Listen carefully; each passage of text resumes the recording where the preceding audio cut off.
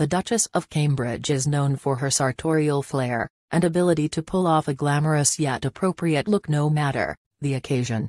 As royal watchers pore over Kate's every purchase, her husband Prince William's wardrobe tends to fade into the background, but of late his carefully chosen outfits have complemented those of his elegant wife.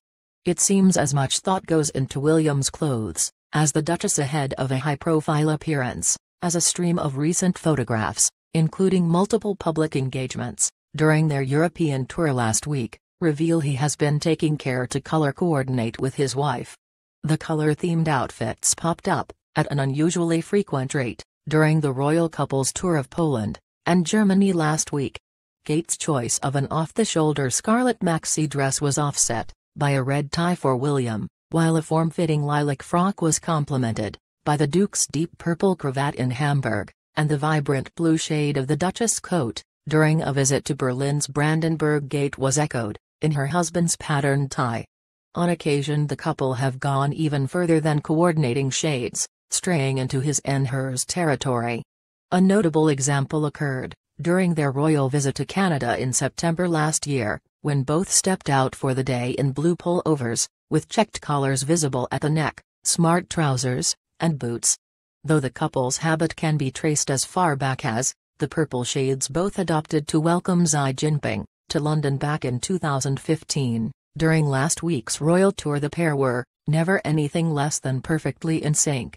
The couple opted for matching shades of pale red, for a glittering garden party in Poland last week, with stylist Naomi Isted commenting, This is a simple detail but effective a slightly lighter red, on Will so the focus is on Kate.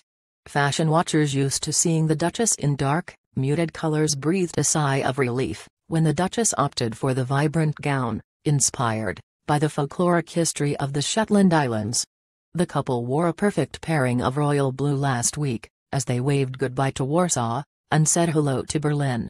Tellingly, Kate teamed her dress with a matching blue clutch, and nude heels ensuring there were no distractions, from their color scheme of choice.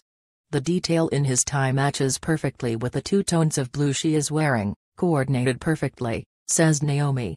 The couple's matching color theme is not entirely new, two years ago they were spotted wearing coordinating shades of purple, during China's state visit to the UK, with every detail, down to Kate's heels, and bag, perfectly matching her husband's tie. Indeed, even William's private secretary seemed to be, in on the color scheme.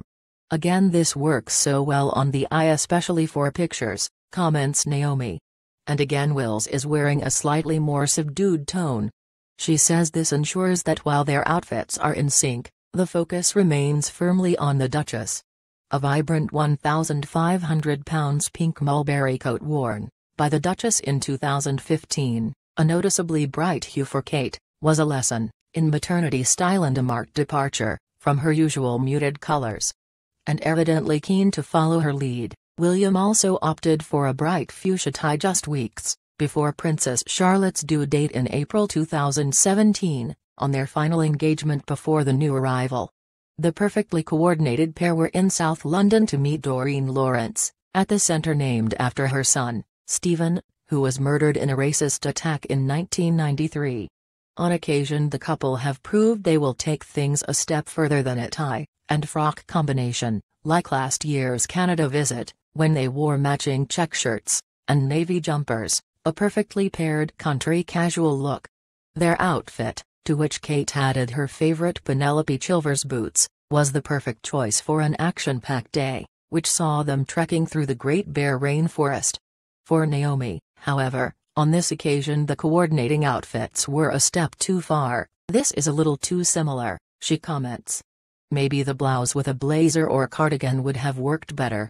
The couple opted for coordinating purple patterns while chatting to local school children, during a rugby training session, at Paris Trocadero, the first leg of their so-called Brexit charm offensive, in Europe back in March.